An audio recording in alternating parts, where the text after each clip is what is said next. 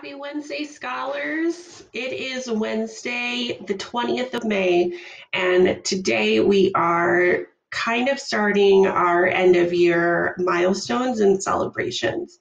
I can't believe it's already like the year is almost over. You guys are almost fifth graders, and I'm sad. I'm sad that we don't get to spend this last week of school together as a community in our buildings. I'm sad that we've only been here to help you like electronically and not been able to like give you hugs or like actually listen to some of the problems that you might be going through. Um, I'm sad that our school year is ending this way, but know that so many of you are gaining so many amazing skills. I would never have thought that for log in a new platform that they had never seen before. I never would have thought that fourth graders would be completing assignments with such amazing focus and such hard work. Like, I'm so incredibly proud, and I'm very sad that we don't get to spend the end of the year together. Um, I tried to put a lot of gifts into this presentation because it makes me happy. And so I'm hoping that even though we're coming to the end of the school year, that you can still be a little happy too.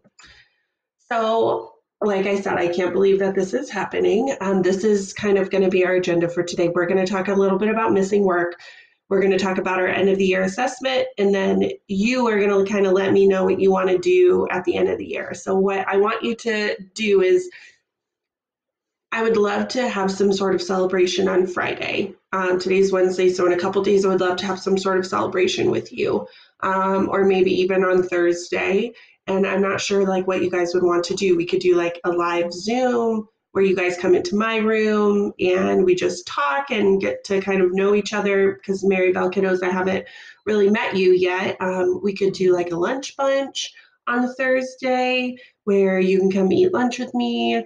Um, let me know what you're kind of thinking would be fun. If you just kind of want to watch the videos and then say bye, that's also cool too. But leave me a private comment in today's assignment, letting me know um, what you think might be fun. If you're interested in doing a lunch bunch or a live Zoom meeting, just let me know and I'll schedule one. Okay.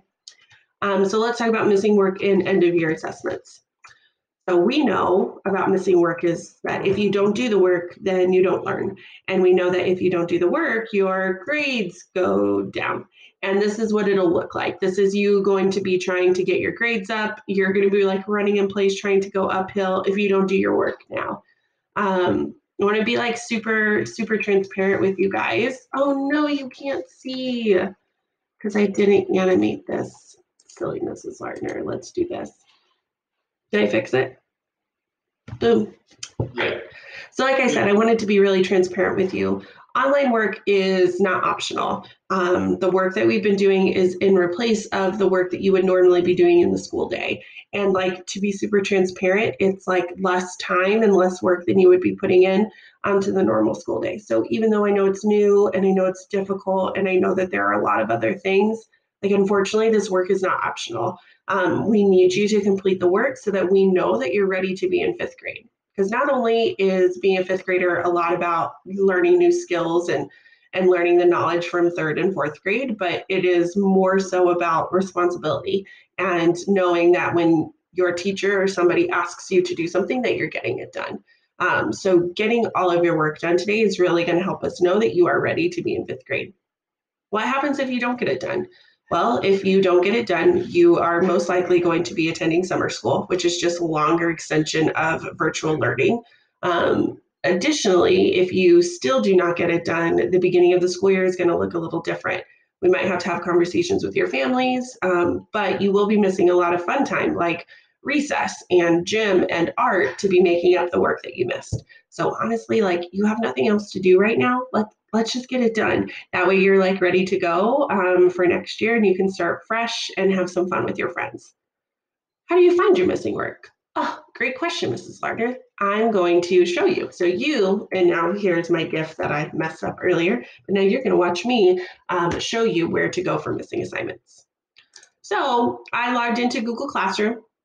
I'm under a student account. Um, I'm gonna click my fourth grade ELA classroom. When I come here, I'm going to see my normal announcements that I see each time. I have all of my assignments posted. Fun, fun, fun. But if I go over to this classwork page and I go to view your work, this is going to show me all of the assignments that we have had since the beginning of the year. So if you're looking at this student account, this is like a fake account, it's not somebody's real account. Um, but if this was Mrs. Lardner as a scholar, Mrs. Lardner has not been doing anything really. Like this is a little embarrassing. I need to like get it together, get it done. Um, the only thing I have been doing is Lexia, which is great, but I need to actually do my assignments. So anything that you see that says missing, we really do want you to turn that in. Okay. I know it might feel like a lot, um, but the goal is like you're going to have your computer over the summer. We have a couple of days just try to get as many assignments done as you can to help increase your grade. So in order to do that, you will click the link and you'll click view details. When you click view details, it's going to bring you to the actual assignment. Here you'll see Mrs. Lardner little note to you that I always write and I try to be kind of funny. Um, I give you a couple of reminders, but just remember if you're doing late work, you won't have um, office hours. Um, and then I do it in Spanish too, in case that's helpful and then you'll actually click the form and then you'll get started.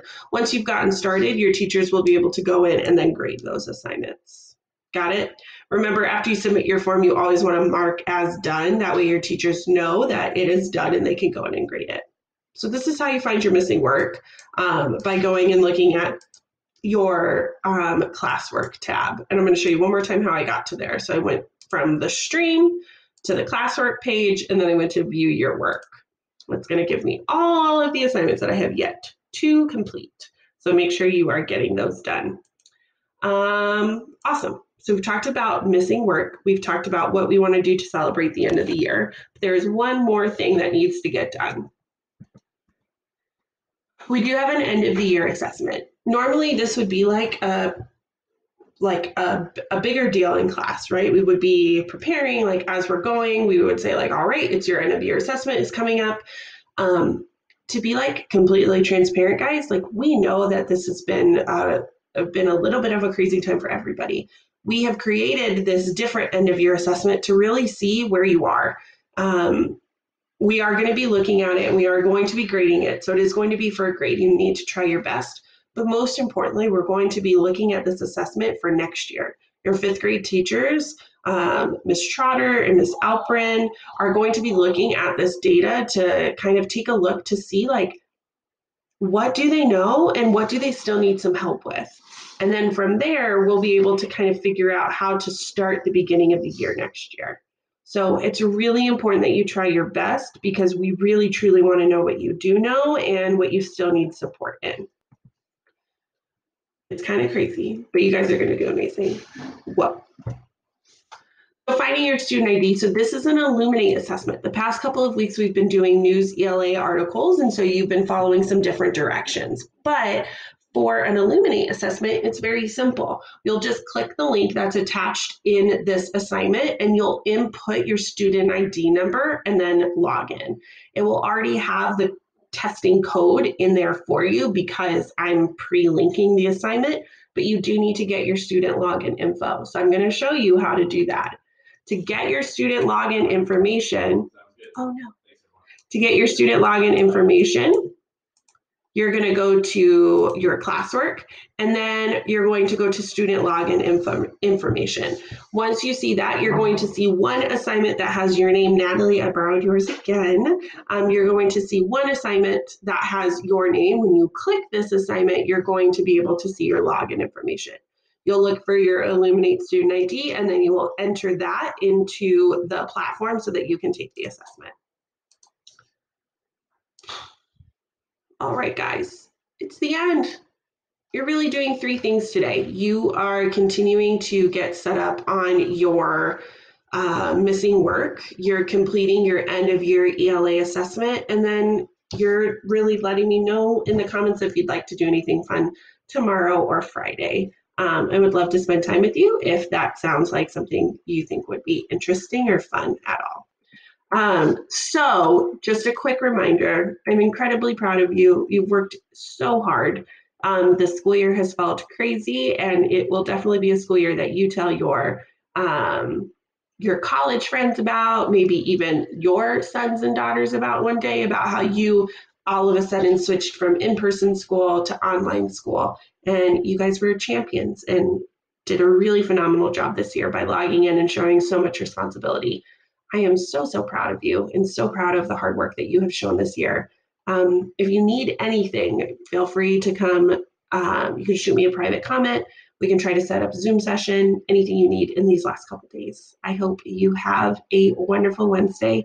Get these things done. Missing work, end of your assignment, and then tell me if there's anything fun you'd like to do. Three things, that's all.